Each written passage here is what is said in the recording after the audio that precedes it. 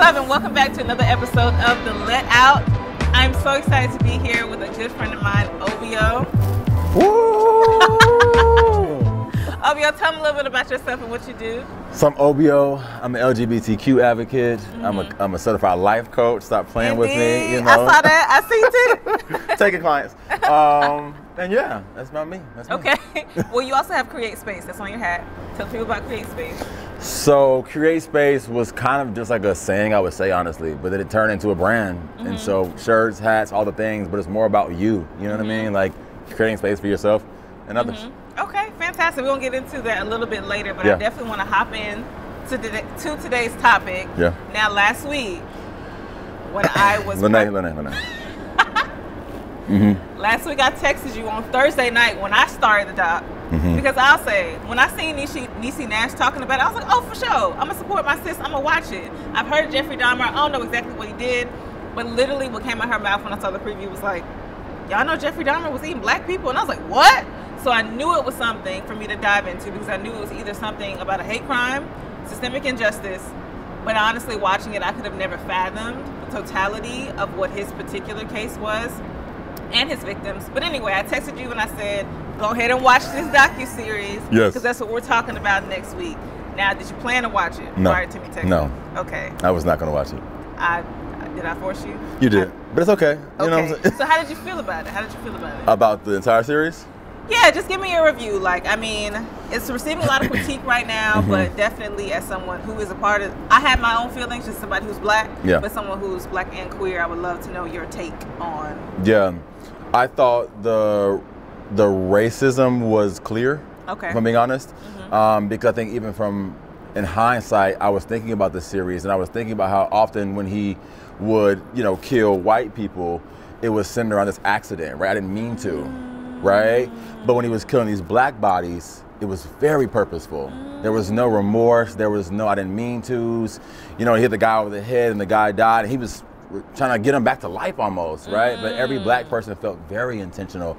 Um, and so that was a, a big highlight for me in the way the story was told.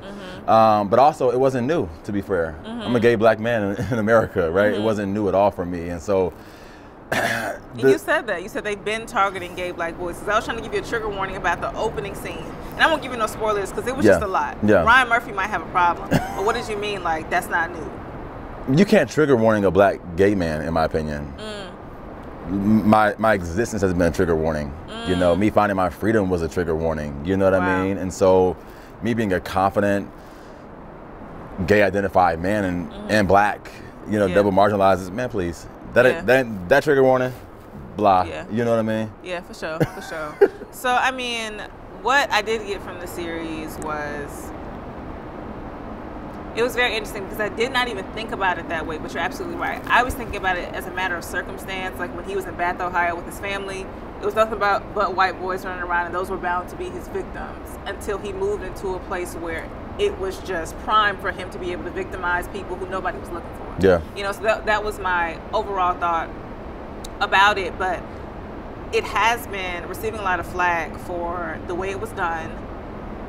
People have said Ryan Murphy romanticized these murders. And I feel like that's a really interesting thought. What do you think? Facts. Romanticize is interesting. Sensationalize. But to I, I'm, I'm going romanticize low key, just because I think, and also like romanticizing him as a person, Mm-hmm. right? Like even the ending and how they want us to pity him. I'm, I, don't, I don't really have much pity, to be fair. Yeah, I, I, not even trying to play devil's advocate.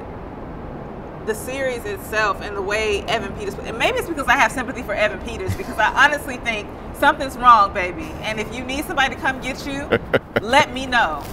I will come. We'll put you up in somebody's rehab somewhere so you can get away from that man.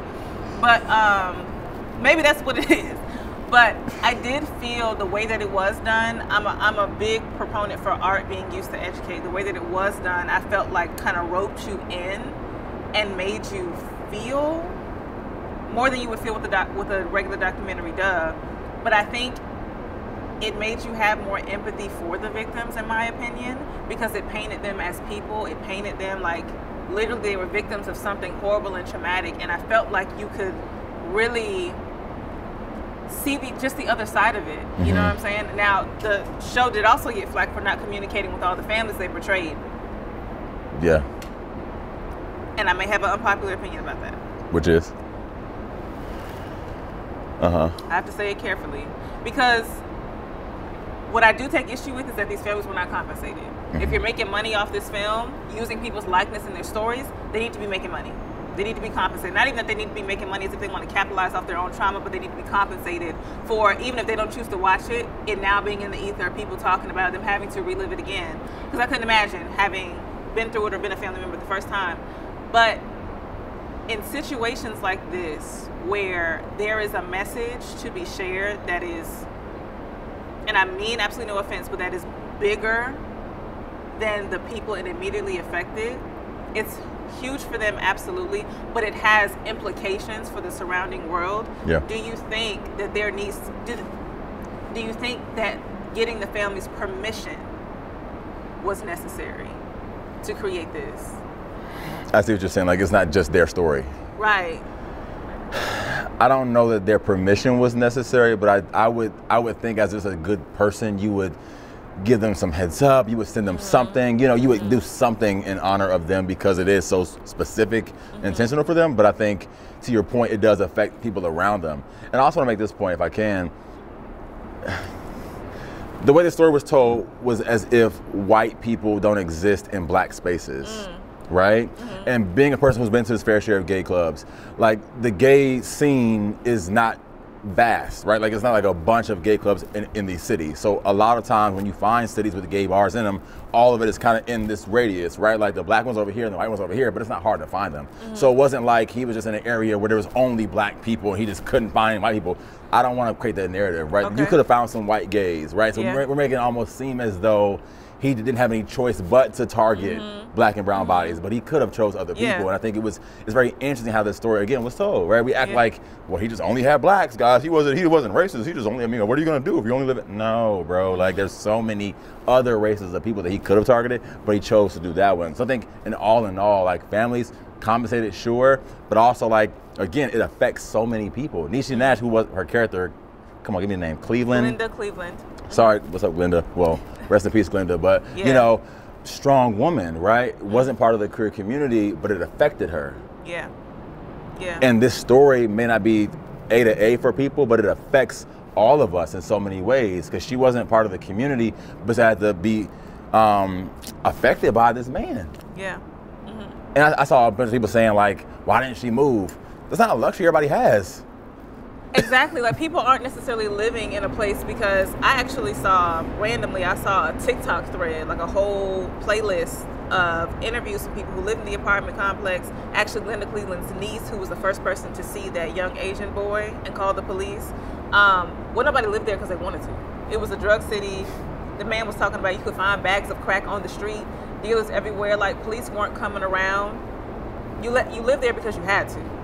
You lived there because you had to. You didn't have any other options. Even when people were being put out, I think they were given some sort of like stipend Mhm, for mhm. moving expenses, but it's difficult to be displaced. And also, when all you have is fear and suspicion of what might be going on next door and no confirmation because no one's listening to you, do you uproot your entire life because people are gaslighting you to make you think you're crazy? Yeah. We can go, can't we? We can. That was it for me. Yeah. but that's real life. Like, oh, like, let me just, oh, it's, it's, it's some suspicion. Let me move to a high rise. Like, that's not how life works. That's not how life works at all. So the next thing that I want to discuss, another reason people are upset about the film, is that Netflix tagged it under the LGBTQIA section. Mm-hmm. And I get it. Mm-hmm. I get it. Like, why would we want someone to terrorize queer people living their truth Mm-hmm. in a time where he couldn't, where he only used his truth to get out of trouble? Mm-hmm. Hello? Mm-hmm. Um, why would we associate that with other content that is supposed to be representative and liberating and creating space you know so what do you think he was also queer it's clear he was gay Yeah. should he not be in the mix I don't think it should be in the category. You know, because I think we act as if I guess the, even the category in itself, to me, is set aside to affirm people in the LGBTQ community. This mm-hmm. this series wasn't affirming people in the mm-hmm. community, right? Because I think to act like when you see a gay character, it has to go in that bucket. There's gay characters in life. That's how life works. We- We're a part of the community. We're not just this mm-hmm. person that you bring out in costume. Like we're actual people. And so I think to act as if because there's gay characters, period, is now a black or now a gay or now a this, it doesn't make sense to me personally. Mm-hmm. I don't agree. And I get that, and I appreciate that. And I just want to make clear as well, also for educational purposes, I'm not asking Obio these questions because I think he has the standard response for all gay individuals. But as someone who's not a part, as a part of the community, I'm educating myself by asking someone for their perspective. So don't go around practicing asking your gay friends to speak for all gay people because we hate when you do that shit. I just want to say that to the camera. I think what's clear here is that this show was instrumental in highlighting the intersections of race and class that leave out leave the most undesirable, the most vulnerable. And I just wonder how are these topics, how do you engage these topics in your space, create space, if at all? And if not, what do you focus most on when it comes to affirming people with queer identities? Yeah, I focus on being yourself, Mm-hmm. right? And I think like we think about being ourselves as this like, I'm gonna wear this thing, I'm going to do my hair this way, I'm gonna hang out with these people, but like the action of literally being yourself. People outside of the community are very pervasive in this idea that being yourself is the opposite end of this proclamation, this opposite end of this declaration that says I'm gay or I'm bi or I'm trans.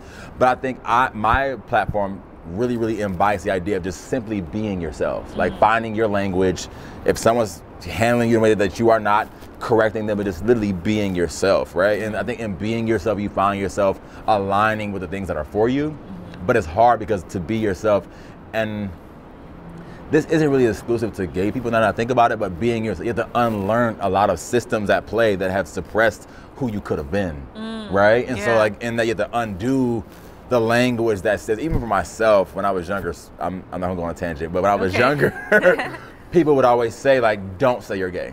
Mm. You're talented, you're attractive, mm. never say you're gay. Like that's gonna be the end of you. And here I am talking to you saying I'm gay, right? But it's like this thing that we have to unlearn. You know what I mean? So I think in all in all, like my work is to really invite people to love on yourself, free yourself, liberate yourself, and work to liberate the community you find yourselves in. I love that. I ate that, low key. You did. You did. That was fantastic. You been practicing? No, it's fine. it's the this. Nah, okay, but we love that. So what's tea? So you can find me on YouTube every Wednesday at noon. I have a series called It's Just Not Adding Up. We talk about every queer microaggression you can think about. Um, you can find me on Instagram, TikTok, and Twitter at Obioo Jones. My website is obioojones.com. You can get some merch. You can book a life coaching session. And honestly, I'm just I'm just journeying, you know. Yeah. So what's next is in the air. It's in God's hands. We're gonna see what happens. I love that for you. I love that for you. So please subscribe to my friend's YouTube channel. Please do that. I am always happy to have conversation with you. I Likewise. love having you. You're fantastic. This is a great conversation. I'm I'm fighting with the urge to just post the whole thing online so people can see the whole thing. Um, so we'll see. We'll see how you get it. We'll see how you get it in stages, whatever, what have you. But please make sure if you're on YouTube, subscribe. You're missing out if you're not on Patreon to see the full situation of what's going on here. All my Patreon subscribers show my boy Obio some love, and we're out. Peace.